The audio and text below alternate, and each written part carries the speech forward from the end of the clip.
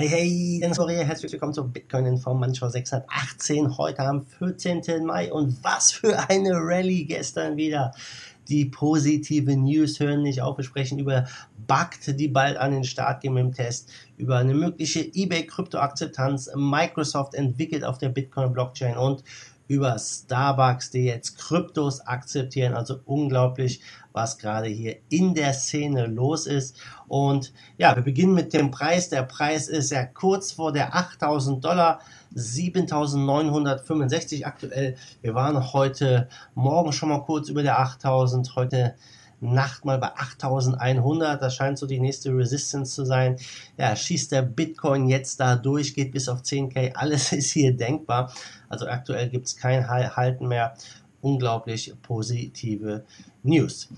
Bevor wir wieder ins Thema einsteigen, hier ein Danke an unseren Sponsor coinmerse.io. Dort kannst du über 100 Altcoins und Kryptos ganz einfach per Sofortüberweisung kaufen. Der Link dazu in der Beschreibung. Also starten wir mit dem Thema Bakt. Das ist ja etwas, was lang erwartet wurde. Viele Leute haben darauf gehofft, dass es endlich losgeht. Und ja, die ähm, Handelsplattform ICE, die Intercontinental Exchange, Bakt hat jetzt äh, für Juli einen User Acceptance Test angekündigt ja, um halt das Ganze mal ja, auf Herz und Nieren zu prüfen. Die Nachricht hat sich wie ein Lauffeuer gestern verbreitet. Ich vermute, einer der Gründe, warum der Bitcoin auch gestern ja, knapp 1000 Dollar zugelegt hat. Und ja, es ist im Endeffekt eigentlich nur ein Test. Es geht noch gar nicht so wirklich an Start. Nichtsdestotrotz, die News sind bullish. Der Markt äh, sieht es genauso.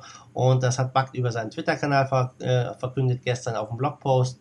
Und äh, Kelly Löffler, der CEO, sagt auch, ja, dass die halt ähm, besondere Risikomanagement-Funktionen haben, einzigartige Handelswertpapierfunktionen haben und genau das letztendlich, was äh, institutionelle Investoren sich erhoffen. Ja, vor allem die Tatsache auch, ähm, dass es da äh, zwei Bitcoin-Futures geben wird, ist recht interessant. Zum einen eine auf monatlicher Basis, der andere auf täglicher Basis. Also auch hier denke ich für die ein bisschen mehr traden wollen, sehr interessant. Ja, und ähm, die haben dann Möglichkeiten hier Wash Trading aufzudecken. Also all das letztendlich, was für die Großen wichtig ist, wird hier umgesetzt. Buck legt 35 Millionen als Risikopuffer selber zur Seite, wollen demonstrieren, dass sie selbst auch ins Risiko gehen. Und ähm, das ist ja ein großer wichtiger Schritt, weil es ist hier Future Trading nicht äh, Cash gesettelt, sondern Bitcoin gesettelt. Das ja, das kann den Preis richtig gut nach oben treiben. Sollte das ja wirklich äh, im Markt gut ankommen und die Tests erfolgreich sein, danach kann ich mir vorstellen, dass es richtig, richtig losgeht. Und äh, ja, der neue Chief Product Officer Mike Blandina, er war damals auch bei PayPal dabei, war bei Google als Credit Engineering ähm, Director dabei, also jemand, der sich richtig, richtig gut auskennt, gut in der Szene auch vernetzt ist. Ja, also nicht die News von Buck sind bullish, sondern auch von Fidelity ähm, und all die ganzen negativen News der Binance Hack, das Tether Bitfinex Drama und so weiter und so fort. Äh, ja, das hat der Bitcoin abgeschüttelt und äh, ja, diese Euphorie, die gerade im Markt herrscht, ja, ist unglaublich. Ich bin gespannt, ob wir das jetzt weitersehen oder ob wir erstmal noch mal einen kleinen Pullback sehen die Tage. Ja, schreibt mir mal in die Kommentare. Marschieren wir weiter hoch oder gibt es erst einmal einen Pullback? Würde mich mal interessieren, was du dazu denkst. Ja, dann das Thema eBay und Krypto. Ist ja auch schon etwas, äh, was ein Gerücht, was länger umgeht. Da gab es nie wirklich was Offizielles. Auch jetzt nicht. Ja, aber eBay könnte im Begriff sein, in die Kryptowelt einzutauchen. Auf der Consensus in New York gab es eine Werbung ja, vom äh, E-Commerce-Riesen. Ob die echt ist, der wurde nicht bestätigt. Es gab nämlich keine offizielle Ankündigung. Aber fest steht, ähm, die Werbung ist da und vielleicht akzeptiert eBay Zahlungen per Krypto. Das könnte schlagartig 180 Millionen aktive Käufer ja, in Berührung mit Kryptotechnologie bringen. Ja, ich vermute, dieser Umstand wirkt sich auch natürlich positiv dann aus, sollte das bestätigt werden. Und äh, es sind halt ein paar Bilder durchgesickert. Ich blende das Bild mal hier kurz ein. Ja, Virtual Currency, it's happening, eBay. Ähm, ja, sehr interessant auf jeden Fall, dass hier das ähm, letztendlich wieder zu weiteren Spekulationen führt und das ist es aktuell. Ja, der Markt wird getrieben durch Spekulation und ähm, angeblich ja, sollen dann auch natürlich verschiedene weitere Coins akzeptiert werden. Ähm, die, die Gerüchte deuten auch auf eine mögliche Partnerschaft mit dem Zahlungsanbieter Utrust hin einem internationalen Zahlungsportal, das Kryptowährungen im Auftrag von Händlern akzeptiert und gegen Fiat tauscht, ja. Und ähm, auch hier die, äh, der President of Global äh, Partnerships, das ist jemand, der auch bei eBay und PayPal vorher tätig war. Also äh, die, die Zeichen stehen ganz gut. Ich bin gespannt, ob die sich jetzt dazu äußern. Auf jeden Fall war eBay einer der Hauptsponsoren der Konsensus, was natürlich ebenfalls das Interesse des Unternehmens an dem Kryptowährungsraum verdeutlicht. Und ja, ich denke, wenn 180 9, Millionen, 180 Millionen Nutzer dazukommen, sollte sich das gut auswirken. Mögliche Nutzer, das heißt ja nicht, dass jeder mit Krypto zahlt. Viele wollen es ja auch nur halten oder auch gar nichts damit zu tun haben. Jo, weitere positive News. Microsoft entwickelt ein Identitätsnetzwerk auf der Bitcoin-Blockchain, ein dezentrales Identitätsnetzwerk. Und äh, das wurde auch gestern bekannt gegeben. Und im Blogbeitrag heißt es, das äh, sogenannte Identity Overlay Network, ION. Ja, das beruht auf einem offenen Standard und ähm, die wollen letztendlich hier ähm, das Ziel wahrmachen, das Ziel verfolgen, dass jeder Mensch eine dezentralisierte digitale Identität besitzen sollte, die er selbst kontrolliert, geschützt von Identifikationsmerkmalen, die einen sicheren Austausch ermöglichen um den höchstmöglichen Datenschutz zu garantieren.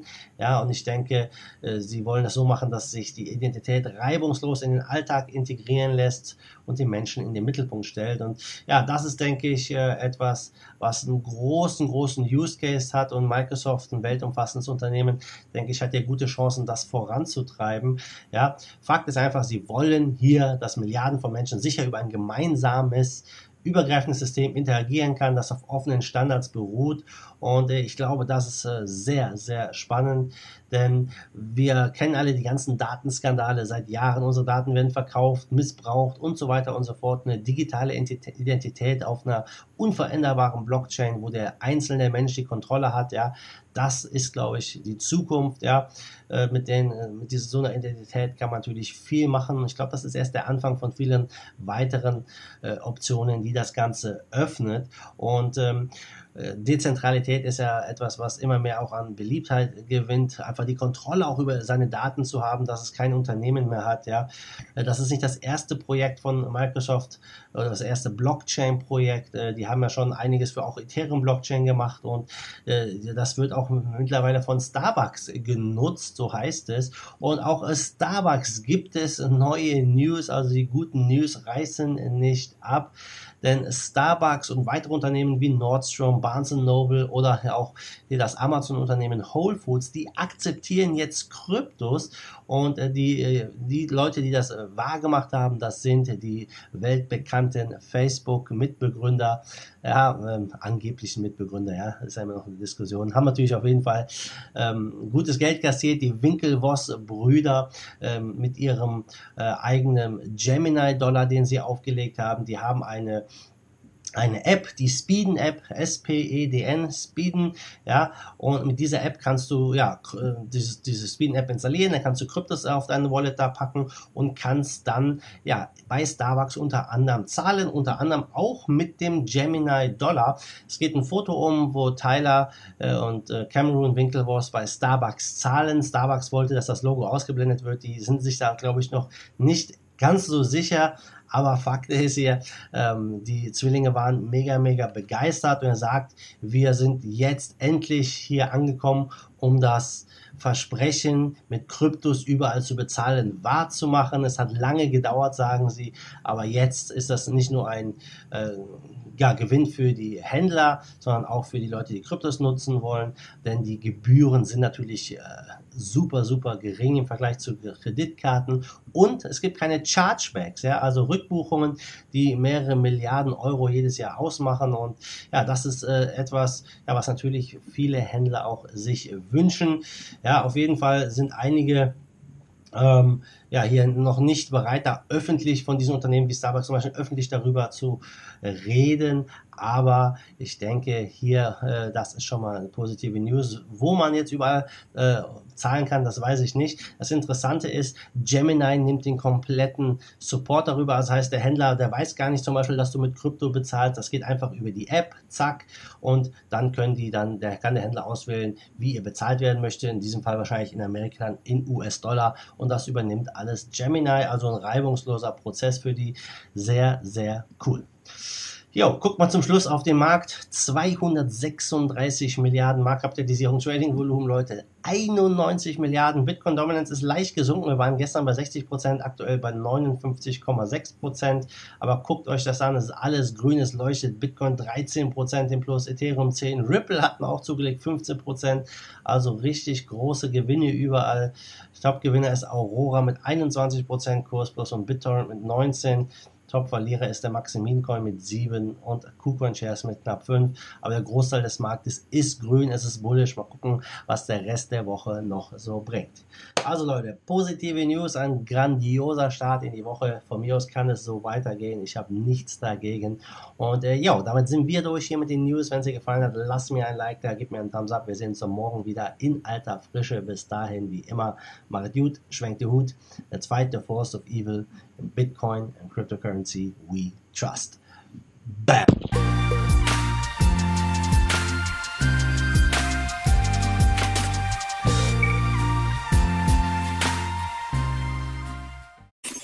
Give us